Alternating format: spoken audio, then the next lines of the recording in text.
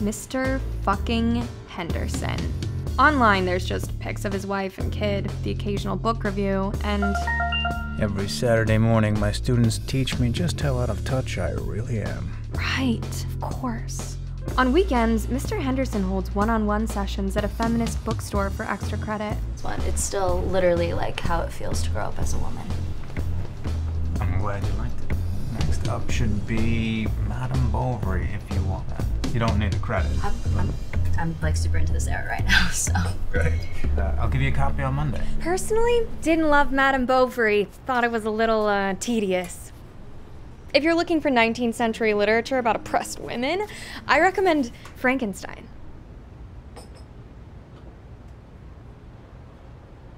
Can I help you? Mr. Henderson, it's me. Brooke Jensen. Brooke, Jen. Wow, I didn't even recognize you. Ugh, that's what people keep telling me. Katie, this is uh, Brooke. She was a student of mine uh, six-ish years ago. Eight years ago, actually. Right, six-ish. Katie's a senior in my AP Lit class. Nice to meet you, Brooke. Um,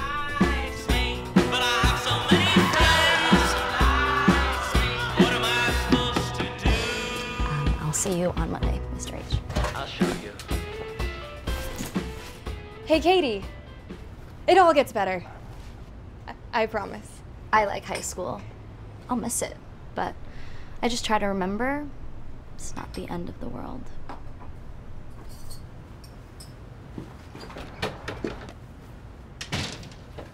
So, Brooke, M- My extra credit session was on the short story The Lottery.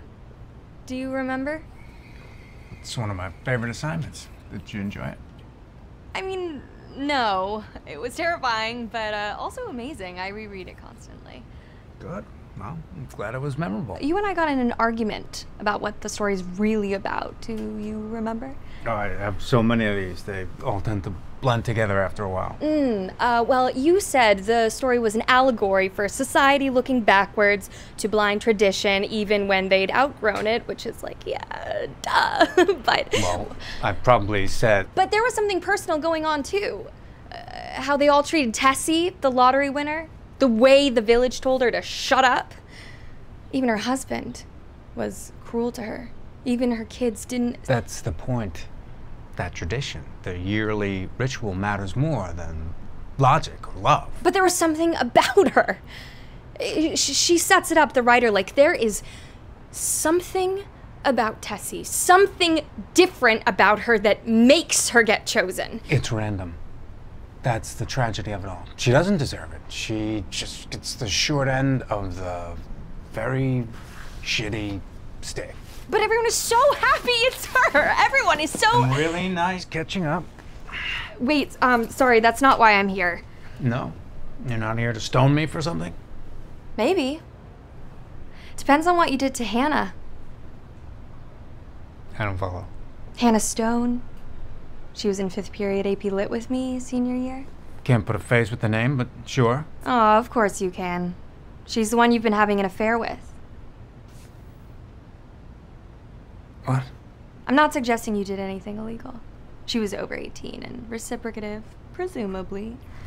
Although there was a huge power discrepancy between you two, but I don't know. Maybe that's all love is anyway. What do you want from me? I just want to finish my extra credit session. Please. Sit. I've got a lot of papers to grade today, unfortunately. Fine, I guess I'll just have to finish it with your wife, Sarah Henderson. I'm sure she'd love to hear all about Hannah.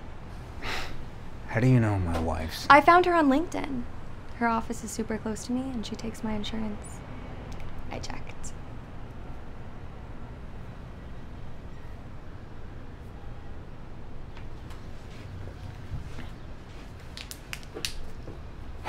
Thank you so much. So generous of you.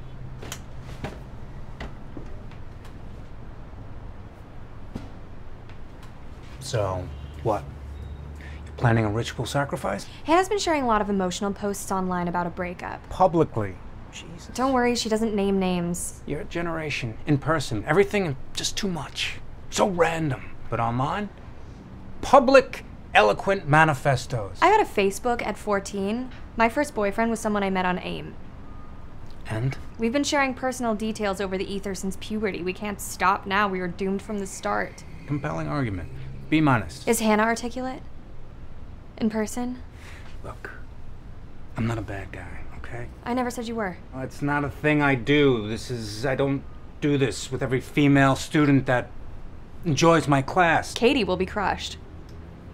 It's only Hannah. No one else. Why? Why her? I could ask you the same question. I'm not in love with her. From what I remember, you two ran in very different social groups. That was her doing.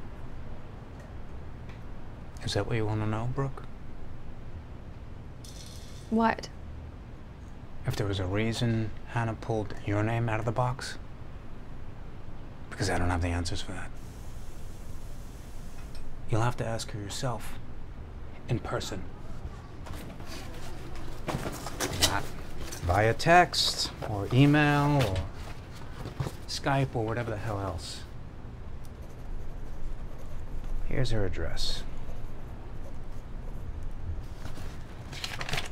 Go. Knock on her door. And leave the weapons behind. Wait. Or you could let it go. But I get the feeling that's not going to happen. Hey, I'll tell your wife about My wife Hannah and. already knows about Hannah. Why do you think it finally ended? Well, I really can't say it was nice to.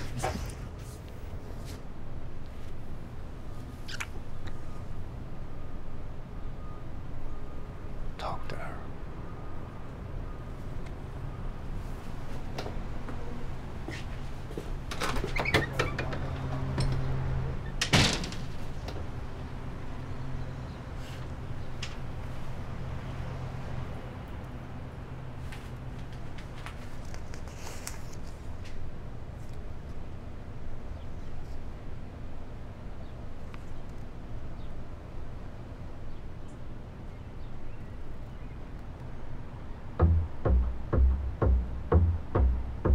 Took a selfie of myself today, walking somewhere interesting. Thought, what could be more interesting than a picture of me and interesting?